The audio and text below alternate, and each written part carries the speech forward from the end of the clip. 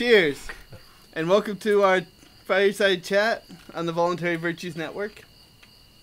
My name's Steve. I'm here with Steve and Matt or Mike, however you want to say it, and Ehub or John. Ehub. Yes. Ehub. I didn't hear that part. Uh, we're going to be talking about peaceful parenting today, but first, the beer I'm drinking today is Pas- Islander. Is it Islander or Pacific Islander? What's your bottle say? Islander Islander IPA. Islander IPA by Coronado Brewing Company. Huh. Yes. None of your homebrew, huh? No. Not that this is- week. That is fermenting though. Yes. Okay. That shall be coming soon. we do have some morning wood on in the fermenter. Oh well, that's that's it. dudes. Has some morning nice uh, brewing it. Some nice uh, Hop characteristics. yeah Alright. um trying to think of the word uh fruity smell Ah. i guess fruity aroma yes. Got to say aroma instead of smell because it sounds cooler. Right. i sound more true. professional that way Yes, Yes. exactly. right. uh, kind of an apricotty taste to it not as bitter as some other ipas i've had It's kind of a Um, cheesy, apricotty, oaky. Cheesy, I don't want in my beer. Keep the cheese out of my beer. I'm sorry. Although, if someone brews something with cheese and it's good, more props to you. overall i think it's a decent ipa Yeah, I'd say it's not the hoppiest one I've ever had, but I, I can definitely drink more than a few of them. And you probably have already tonight right Uh, I think this is just number two oh, okay of these. On to the topic. What were we discussing again? peaceful parenting Ah, yes. um, as they say, children are the future. And if we're hoping for a more peaceful, voluntary future, it's got to start with parenting. Do you agree, John? I agree. Absolutely, yeah. Uh, John is our resident current parent. Uh, Steve is also a parent. But your your kid is grown, right? Mid twenties, but believe me, you never stop being a parent. Right. Like that funky Yeah. Steve Martin movie years ago, Parenthood. you Yeah, ever seen it? So true. Yeah. I mean, not that you boss them around or anything. At any age. Which is kind of what we're talking about tonight. right. Um, John, I think you studied the topic more than any of us. How would you describe peaceful parenting as a as a general parenting style versus other uh, Yeah. more traditional styles of parenting? Uh, to me, it's uh, trying to. It's a different way of communicating with your children to try to get them to uh, understand their feelings and um, communicate them, uh, expand their their um, their vocabulary relative to emotions, and uh, just with the end state of hopefully uh, raising peaceful children, children who in the future uh, are have hopefully no inclination to, to force other people to, to do what they want them to do. But, uh, So you basically just let her run wild and do whatever she wants. No, it's a lot more, lot more, lot more talking. It's not easier, that's for sure, and it's not always uh, peachy king. But um, you just try to keep the the long goal and and and work through difficult times with with with conversation.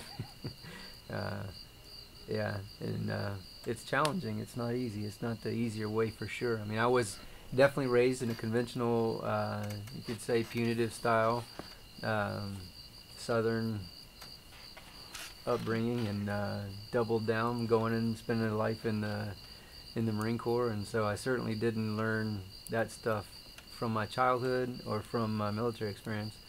It was uh, after the fact, and uh, started um, realizing that uh, there was another way, and uh, just trying to started digging into that and started putting it into into uh, into effect as much as possible. So, it it's basically a, a completely different way of looking at parenting, right? I would say yes, definitely. Um, yeah, I have a. There's a, good book I read recently. No, not recently, actually. It's uh, she was quite a bit younger. It was uh, Building Emotional Intel- Intelligence by Michelle Board, I think it was.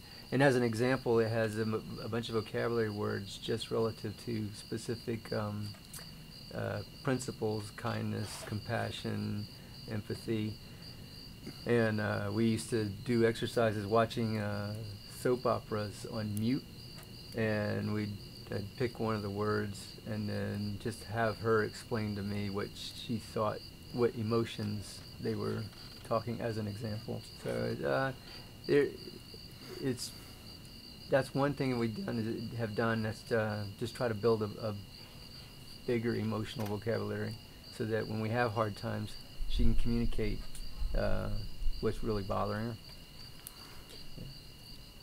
What would you say to somebody who said, "Well, isn't that uh, it, so much a fo- uh, focus on emotion?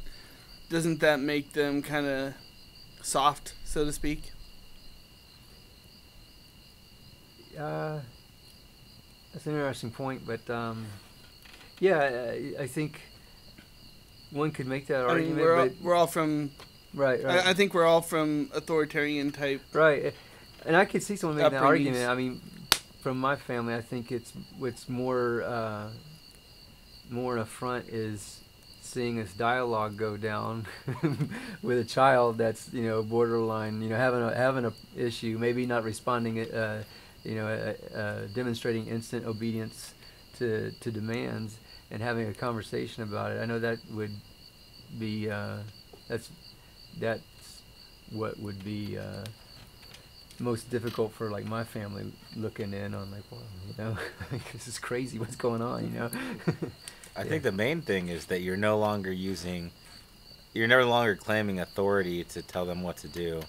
It's more rationalizing what exactly you want them to do, right? Yeah, yeah, and uh, Alfie Kohn's another good source, uh, unconditional parenting, and there's different extremes of it. Sure, uh, I definitely know people who, uh, who there's, they're very very liberal with it, you know, and and and uh, maybe more successful at that extreme than some others. But uh, that's that's the general premise. Yeah, it's trying to get everything down to. Um, you know, getting them to do things voluntarily instead of forcing them to do things, and so that they'll grow up. excuse me, with uh, you know a, a general voluntarist philosophy through life, hopefully. hopefully. Yeah, Marshall Rosenberg is another good Yeah. reference. Um, I think he's often said uh, when it comes to parenting, you want to ask yourself two questions. Number one, what do you want them to do? Uh, and this one's easily answered by both schools of thought, or uh, most schools of thought, really, on on the matter. Uh, but the other question you want to ask is why, why, what do you want their motives to be? And I think that's where it really uh, come comes into play the the idea of peaceful parenting Well said. Yeah. because you don't uh, with with an authoritarian uh, or disciplinarian view, the motive is often to not get in trouble, Right. Right. basically. And it teaches them that might is right, essentially, or you know. To obey a Yeah. claimed authority Sure. Right. Right. without any proof of uh, any knowledge of what they're discussing. Yeah, and that, that's written on one, on our board in there. And as a matter of fact, rationality is a virtue, which I'm pretty sure comes from Ayn Rand. It's an objectivist uh, Yeah. principle. Yeah, so she's been getting that for a long time, and uh, she calls me out quite frequently. That's know? good. yeah, She's yeah. thinking. Yeah, That's yeah, awesome. Yeah, like I may say something maybe out of frustration with her, she's like. What does that have to do with X? You know what I mean? That's so cool. That is so cool. yeah, at seven years old. That's it- awesome. yeah, it's pretty cool. Um, my understanding is that the reason uh, emotions are so important is because if you understand the language of emotions, you can better communicate your needs. Correct? Yeah, exactly. uh, Yeah. Um, most of our tantrums or our tantrums originate from something, and oftentimes that's underneath the surface. We are, since we're not trained to, to speak with, with empathy or connect these tantrums, I call them tantrums, to the actual need. Oftentimes, where people are arguing about something on the surface when the deeper issue we're not even talking about. And so that that's why we talk about the emotions and, and try to connect what our problems are, find the root of our problems so we can discuss the root, strike the root on the issue. Exactly. Um, That's really interesting. So you're doing the um, you've done the, the the soap thing with the volume off with your daughter, yeah. and that's to develop empathy. Well, that's yeah. So that she so I don't recall all the all the principles, but uh, there's kindness, empathy, compassion. Uh, did I say kindness? I did, didn't I? Um, and now it's a little bit rusty, but there's these, these I think it's eleven principles that she has in the book, Mhm. and then you you go through each principle, and there's like forty or fifty vocabulary words just related to that principle. So that's essentially the kind of drills we were doing. And does she does she suggest that as an actual exercise? She does in the book, yeah. Yeah. So it's not like That's I, really yeah. interesting. Uh, What I, also what I've done with it with Cora is, and it's not, it's, it has a different effect, but is watch subtitled movies. I like Asian movies, or Asian historical pieces, Mhm. Korean specifically, some Jap- more Japanese and some Chinese, and uh, we'll watch the movies in subtitles, and I hope that that's reinforcing that. You know, m- movies you have to read can be entertainment too, and uh, Mhm. there's also the historical element of that, and yeah, Hmm. that's been kind of fun. And so, my take on how important the thing of empathy is is that I think that we live more and more in a society where I think sociopathy is is it's almost like a virus, and the fact that there's wars going on all over the place and people don't even pay attention to that. They they can't even connect that there's you know Iraq, for example, millions of people, innocent people, dying. Afghanistan, what's going on in Israel, what's been going on with the Palestinians forever. Nobody connects to that, that these are real people. Families torn apart, injured for life, dying, Mhm. and because there's that that lack of moral equivalent, uh, moral equivalence uh, in all those things that you know normally we're taught. You know, you don't hit, you don't steal, but then when we be, become adults, because we've been raised in an authoritarian way, we grow up to expect something outside of ourselves should boss us around, and that those things that we don't do and we don't even think are right to do, and we would certainly question with family members, friends. We would disassociate with people that did steal and murder. But there's that, I don't know, it's like a cognitive dissonance. But anyway, my point is, I think that whole thing of empathy, really focusing on that and helping to develop that in a child is absolutely key to to creating a better future so that they will do the same with their kids and Yeah. I agree, and, and I would add for anyone who's going down this road or thinking about this road in the future, from someone who wasn't raised this way, and like I mentioned, uh, spent time in the military, so it's just to help reinforce the punitive, back, my own punitive upbringing. Uh, it's not like uh, anybody's perfect or there's a perfect way to execute it, but uh, my attitude has been if I can be successful, at least in even with dealing with adults, using nonviolent communication, compassionate communication, whatever you want to call it, you know, at the 40 percentile and reduce conflict in my life uh, by that much as a modest goal, I think. and uh, the same with in parenting. That hopefully uh, the next generation, Cora, can be much more successful employing that, you know, closer to um, near universal. And as it grows and spreads, and more and more people are doing it, uh, then even if best case scenario we only reached 80% at the individual level when you encounter other people who are doing it at 80% then the odds are you bump into them when they're exercising it and uh, so it's never going to be perfect but the point is that it could become so you know socially Yeah. socially social evolution to the point where uh, conflict is greatly mitigated because people have learned how to speak with empathy you know, uh, connected to Right. you know connected uh, communication form Right. Just like slavery at one time was was accepted, Right. and now nobody would think, except for some insane person, would think that slavery is Yeah. cool. And so, ultimately, Well, Long after I'm gone. chattel slavery. yeah, overt chattel mean. slavery exactly yeah it, Yeah. it still goes on and yeah but not, well, yeah, not- overt yeah, slavery. But right the- Yeah. Okay. Well, that's a that's a whole topic. for exactly yeah agreed It's another I think I think something that really plays into this too, and you kind of brought it up, is is our language. Um, Marshall Rosenberg kind of delineates it into two different ones. Uh, jackal, which is kind of Right. talking at people, right uh, and giraffe, which is trying to understand people. And the And giraffe comes from the big heart the heart- Right. yeah the yeah, the animal has the biggest heart of yeah Does it really? any Yeah. mammal. Oh, I didn't know that. that's how he came up with giraffe yeah Hmm.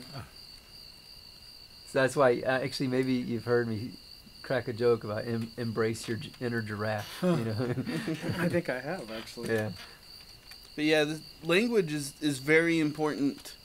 Uh, how you talk to people can, how you say something can, can easily, uh, completely change how somebody else perceives what you said. right Absolutely.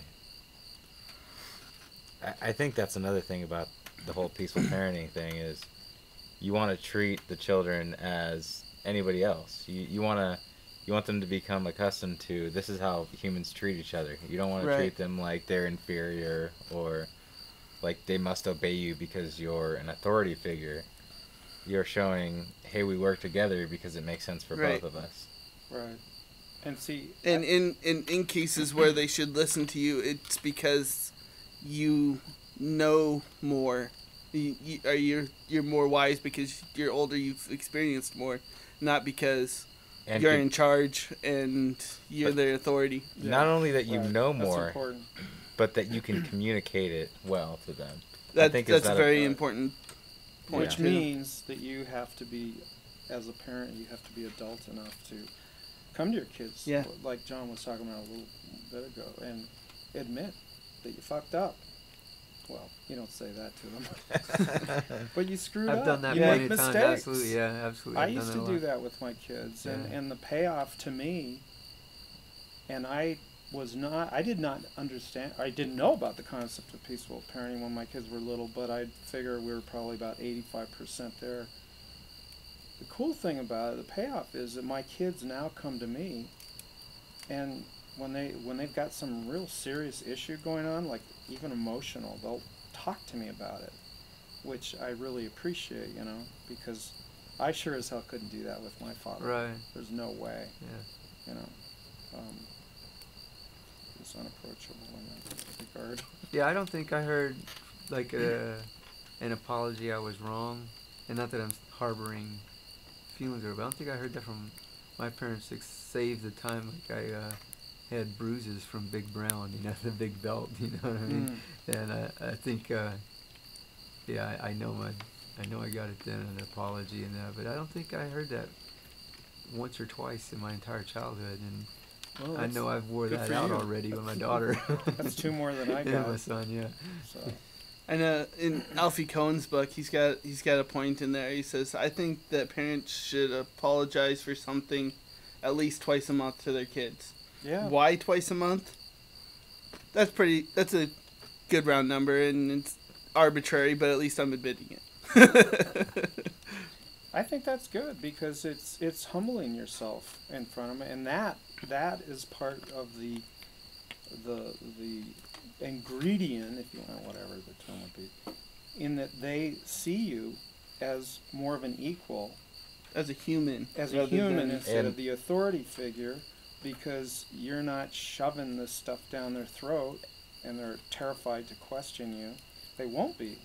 Um, And you're you're showing them it's it's good to admit when you're wrong. Yes. That's a Oh, good that's lesson in huge. itself. that's freaking huge. Yeah. And I can I can really I can say as well that uh, my son was you know, 13 and a half, 14 before I started reading this. So we were going into the teenage years with a lot of conflict. And uh, uh, it definitely uh, turned it around. And, and, and I think that aside, all that from aside, I think a good message was sent by to my son then that he could see that adults could will you know anybody can change. You know anybody can do it at any time. So whenever we're frustrated and uh, have a down look at uh, at what's going on in the world around us uh, anybody can change at any time. And that's a, a powerful uh, antidote for anybody Mhm. you know. Hmm but, uh, yeah, I can definitely say that it it helped to reduce conflict and improve my relationship with my son. So I took it on later, I was I was parenting him early on, just like I was parented, Sure. and uh, yeah, yeah, Yeah, well, that's pretty good that you were able to pull pull it off at 13 because normally by 13, you know, I mean, he seems like a pretty centered kid, right, you know, yeah, and so I think that probably had a lot to do with it. Like you're saying, is is coming to him and saying, okay, I think I did some stuff wrong in the past, and I'm sorry about that, you know. But I think that's also part of the thing of empathy, because as an adult, when you recognize you screwed up and you apologize to the kid, a sincere, genuine apology instead of yeah, yeah, I'm sorry. No, that's not an apology. That's BS. They that's also that thing of empathy because you've recognized in them that you may have hurt them, and then they them seeing that you are being empathetic. You know, it's just it's kind of a good it's a good good thing.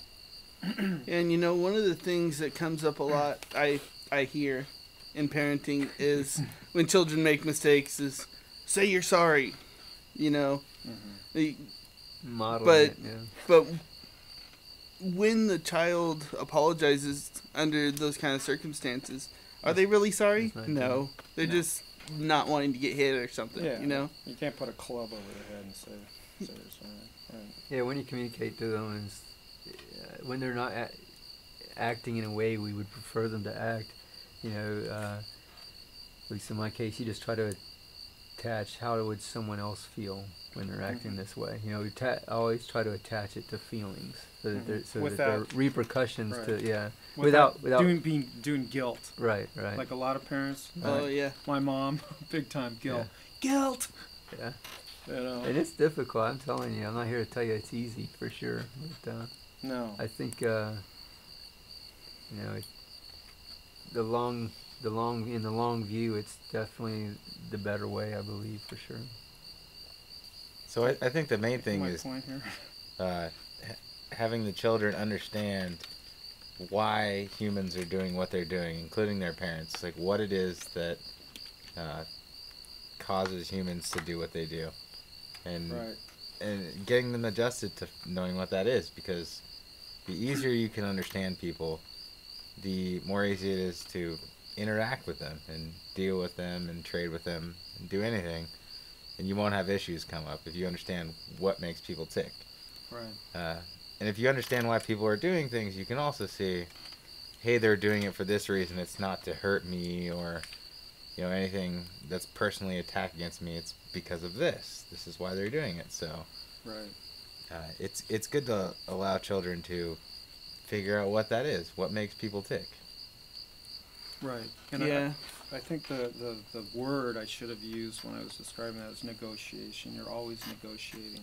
Yeah, That's exactly. what it That's a powerful down point. Okay. Right. So, yeah, it, it's a. I don't have to run away with it. you want to add more? No, no. I well, I mean, negotiation is rational, whereas the other is the the club over the head type of threat is irrational and and is doesn't get good results, and it's just uncool. But go ahead. Yeah, most parents and kids don't. Oh, parents don't really have it. Didn't negotiate with their parents, so they don't re- really teach their children how to negotiate. So there's no. When do people learn how to negotiate? That's everything's preferable it, uh, Mhm. to be done voluntary, and the only way you really get there is by honing your negotiation skills. So, with yeah, Cora as an example, I, I, I negotiate frequently. I even try to get her. Sometimes she'll forget, and uh, I'll be like, "Hey, let's negotiate." You know, just remember. you know, because you know I, I might say no, but come back with something. You know, just to help prime her to always be negotiating. And so hopefully, you know, when she's 22 or whatever, and she's going for that job, and so and so says this is your salary, she just doesn't sheepishly put her head down and say okay you want her to be strong enough and secure enough and have the negotiation skills to say no you know i'll do this job for x you know and uh, i want her to Right. to we all should be strong enough to to Right. to be able to know when we can negotiate for something better than hmm but uh, yeah that's an important point thanks for bringing that up Yeah. And the longer you practice something like that, the better you're going to get at it. So if you're starting it earlier and you're getting these skills at an earlier point, then it's going to give you a, a better position in the long run. yeah and I I just want to add something real quick. Um, when we talk about punitive type child rearing, we're not talking purely spanking. We're talking spankings, timeouts, positive reinforcements. Right, All right. of those are encompassed in. Manipulation. Yeah, all, all of it is encompassed in the punitive. What do you mean by positive reinforcement? Uh, if you do this, then I'll then you can have cookies after dinner, or Uh, Bribes. yeah. yeah right I mean, because essentially, there's not nothing different from that from uh, from negative reinforcement. Mm-hmm. If you take the positive as a given, Alfie Kohn has another one punished by rewards Yeah. yeah, yeah. yeah, it's a very Yeah, that's a no, good book. that's, That's really uh, that that that's really like s- almost schizophrenic. It's uh, Yeah, and uh, when when you talk about uh, negotiation, you're not. Uh, I'm sure you're not talking about. Uh, well, you can't go to this blood and gore movie, but maybe we can let you have a little bit more computer time as as payment uh, type of thing, either, right? no uh, More of a reasoning thing. yeah yeah More of like back and forth why this should and shouldn't happen. right right Uh, Yeah. yeah, I just wanted to. yeah right Clear that up. Yeah. well, unfortunately, we're out of time. yes. Um, maybe we can pick the subject up another time. Sounds good. Um, we didn't get to robot sex again. Makes Oh, sense. man. Makes sense this week. For the first time. Maybe next week, though. Anyway, Cheers. Have a good Good one. night.